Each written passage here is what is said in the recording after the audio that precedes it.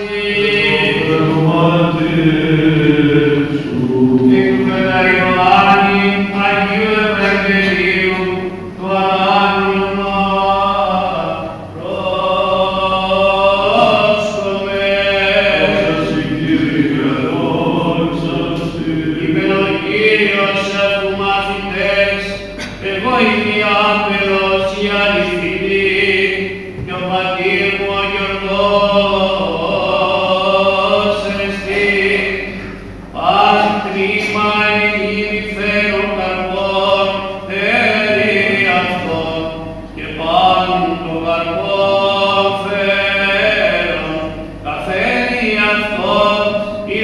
Jonathan Moore.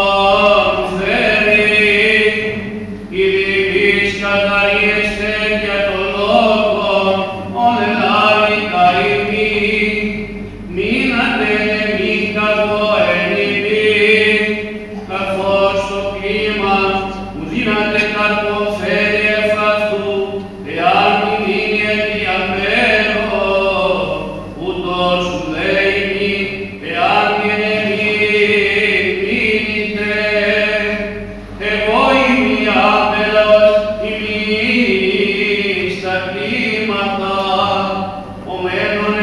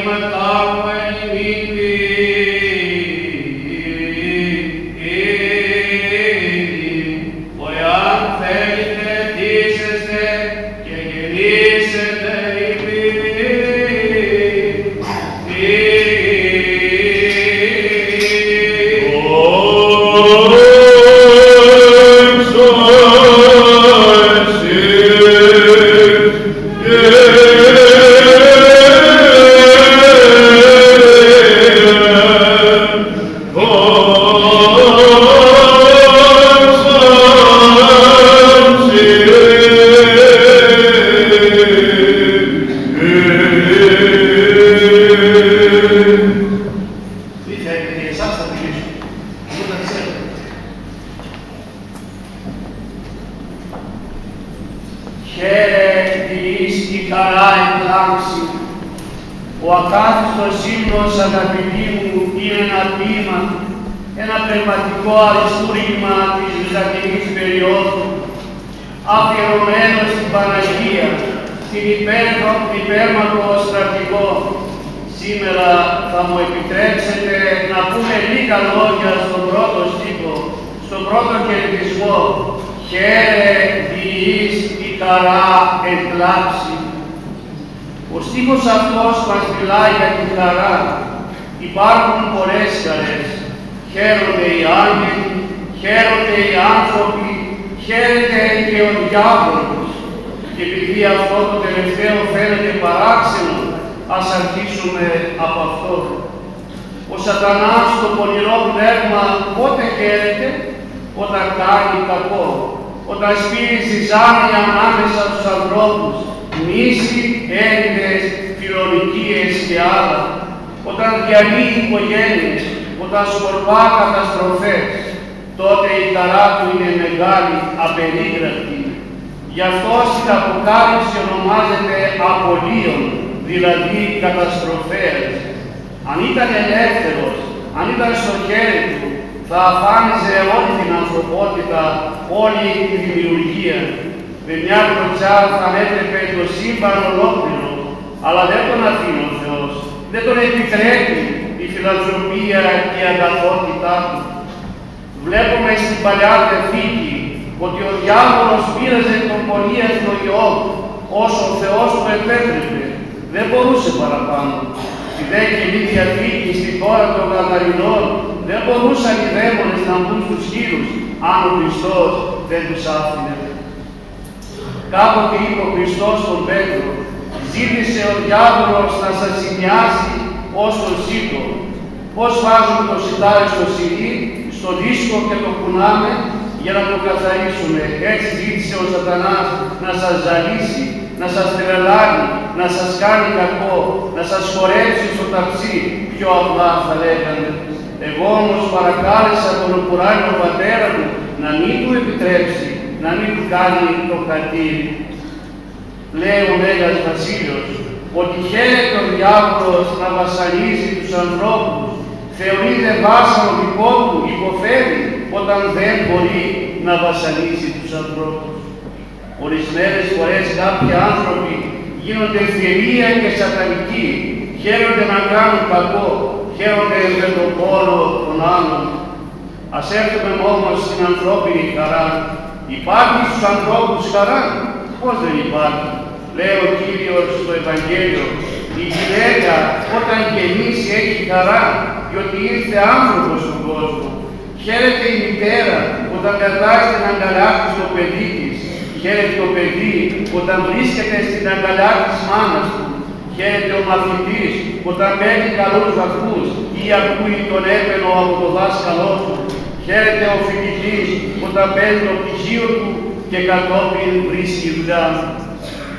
Ακόμη υπάρχει και άλλο είδους χαρά. Χαίρεται ο αλκοολικός όταν κρατάει στο χέρι το ποτήρι που πίνει. Χαίρεται ο φιλάργυρος όταν μετράει τα χρήματά του ή ακούει τον ήχο των νομισμάτων. Χαίρεται ο φιλόδοξος όταν κατορθώσει να πατήσει επιπτωμάτων και να ανεβεί στα ψηλά αξιώματα. Χαίρεται ο φιλίδωνος όταν ικανοποιεί τις παράνομες αρνητικές του ορέξεις όμως αυτές οι χαρές είναι στιγμιαίες, απατηλές. Μετά ακολουθεί η μελαγχολία, το άγχος, η αγωνία και οι τύψεις. Πού θα βρούμε την αληθινή χαρά, μας το είπε σήμερα ο ακάθιστος ύμνος. Χαίρε διείς η χαρά εκλάψει. Η Παναγία είναι η πηγή της χαράς. Αυτή έφερε τη χαρά στον κόσμο, τον Χριστό. Ένα άλλο τροπάριο λέει, χαίρε τη χαρά του κόσμου δεν ξαβαίνει. Η πραγματική, η αληθινή και μεγάλη χαρά είναι ο Ιησούς Χριστός. Χαίρετε χαριτωμένοι, είπε ο άγγελος του Παναγίας. Χαίρετε και αγκαλιάστε, λέει ο Χριστός. Χαίρετε και πάλι νερό, χαίρετε, γράφει ο Απόστολος Παύλος, παρόλο που ήταν αλυσιδωμένος μέσα στη φυλακή, ο χριστιανισμός και κυρίως η Ορθοδοξία είναι θρησκεία της χαράς. Για τον χριστιανό δεν υπάρχει μελαγχολία και απελπισία. Είναι πολύ μεγάλο λάθος και απιστία να καταφέρουμε με τον παραμικρό στα ηλιμεστικά και στα ψυχοφάρμακα.